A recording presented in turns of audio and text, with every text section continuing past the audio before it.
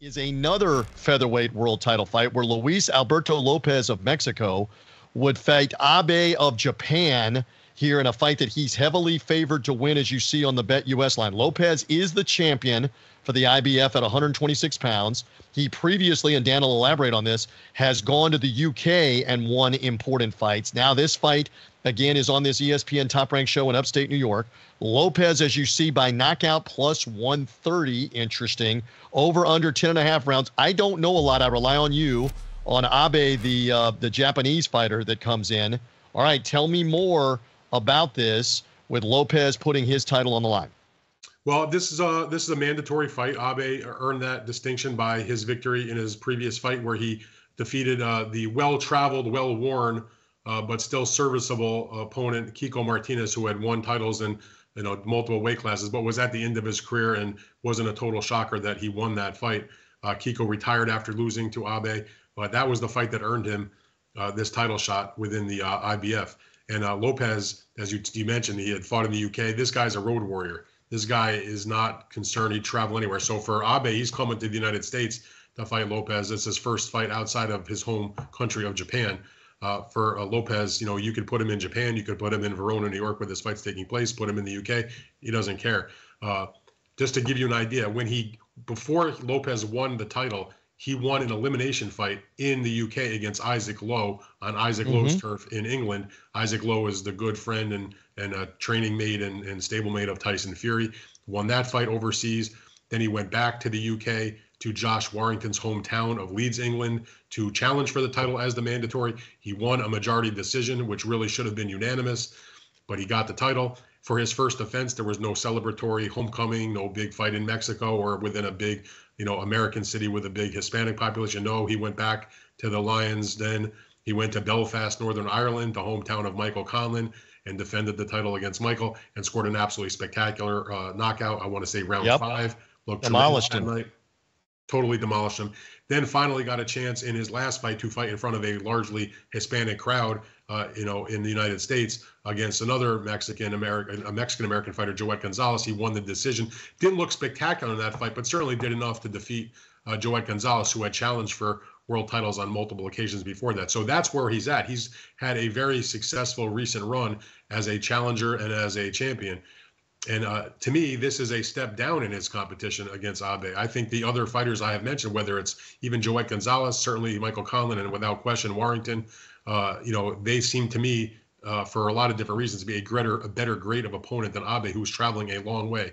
Uh, and and listen, Lopez, the one, the only thing that gives me pause, I'm, I'm just to cut to the chase here. I'm picking Lopez to win this fight.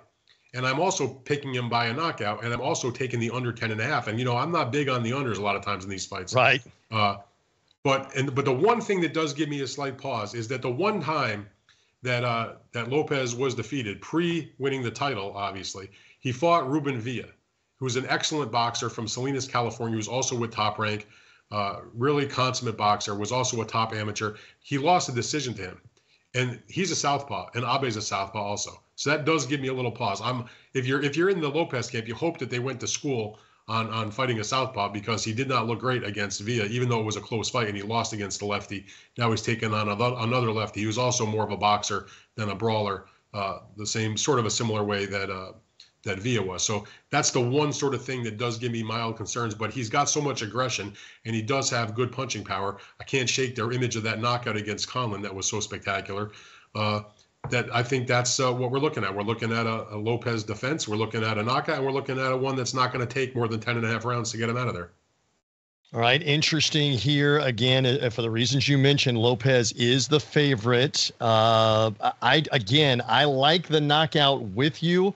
I don't have a feel for when it is, uh, when that is going to be happening. So Let's see. Let's see what happens uh, in this bout. We'll lock us both in on the Luis Alberto Lopez knockout prop. We'll cash plus 130 if that is the case. Again, this is the co feature fight, Top Rank Boxing ESPN uh, show, Saturday night uh, in New York, in Verona, New York. You will take the over. You'll lay a little bit there for the over that it's a late round knockout. No, no. Uh, I took this I matchup. I took the under. You have the under. We'll correct that for the best bets. My mistake there on that. You'll take the under and get a little better play. Let's make sure uh, we get that, that fixed. Rafael needs the win. Rafael needs an under for this fight. So our mistake there on that graphically, under 10 and a half rounds, that it will come quicker against Abe, the uh, the Japanese fighter, who again is coming a long way away uh, to be involved in this fight uh, tonight. And again, I suggested this to you previously, but just for the audience, because there's some back and forth right now in the chat about prospects at featherweight is it that unrealistic that if they're on the same card that the two winners on saturday night would end up meeting in a unification fight? Again call me crazy that that seems logical that you'd have them both in the same building both in the same ring in consecutive fights and that the winners might meet down the road. I'm nuts right that to even suggest that dan rafael tj i mean you're, you're, you, you love you love to just make things so easy. It's boxing. Nothing's ever easy so right. well yes it's certainly plausible that the winners could fight. And when I say that, I mean especially if the fighters that are with the same company are the winners, and that would be Kholmatov uh, and Lopez, who are both with Top Rank. Abe is with Teiken Promotions in Japan, who does a lot of business with Top Rank, and and Ray Ford is with Matchroom Boxing, who doesn't do a lot of business with Top Rank. The reason why this fight happened is because Top Rank won a purse bid to uh, gain the rights for the match. So there's that. So if it's if it happens to be uh, Ray Ford winning and it happens to be also Abe winning, I would I would say the chances of a unification fight are like zero. Okay, if it's Lopez winning, I'm just being right. honest. If it's Lopez winning and it's and it's uh and it's uh, Lo- uh Lopez winning and Kholmatov winning, it's definitely possible. But you know, knowing the way the top rank does their business, they would probably look to do that fight at some point. But they're not going to do it next, most likely. You never know if the fighters demand it. If suddenly there's you know some kind of real reason to go forward and do so, uh, it would be a little surprising. Uh, but it does create the possibility. Top Rank is uh, is not averse to matching their top guys against each other. They've been doing it on a regular basis for 60 years. Uh, I just don't think it would be next. And if it's, you know, if it's going to come to pass, uh, you know, Ray Ford with Matchroom, if it happened, you know, they'd have to make some kind of deal. I don't know if they want to send their guy over to the other platform for a fight that's not that big. So, you know, it makes sense intellectually and on paper, but boxing often is not intellectual and it doesn't take place on paper. So you know, we'll have to see how it plays out. And you know, you never know if there's a a great fight and maybe there's a call for a rematch or there's something hugely controversial that would push that off. Plus, you can't uh, forget about the fact that Top Rank has another featherweight title fight that they're going to be doing come this summertime. It's going to be the rematch between Robeisy Ramirez, who had that massive upset right. loss to Rafael Espinoza back at the end of last year.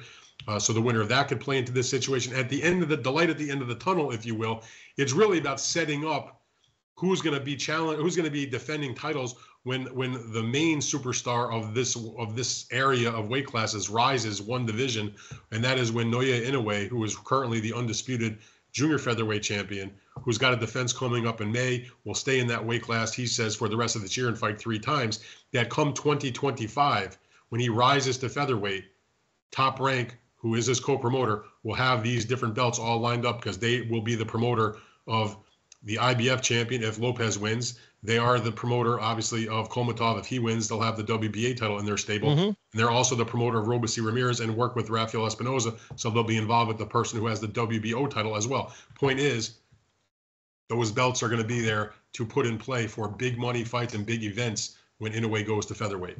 It ain't that complicated. That's the that's the real ticket here. Now, uh, perhaps there'll winning. be unification before that. So when Inoue right, right. There, he can win two belts at the same time, perhaps, maybe even three, depending how it goes, or or maybe get upset or lose. Who knows? But the point, right.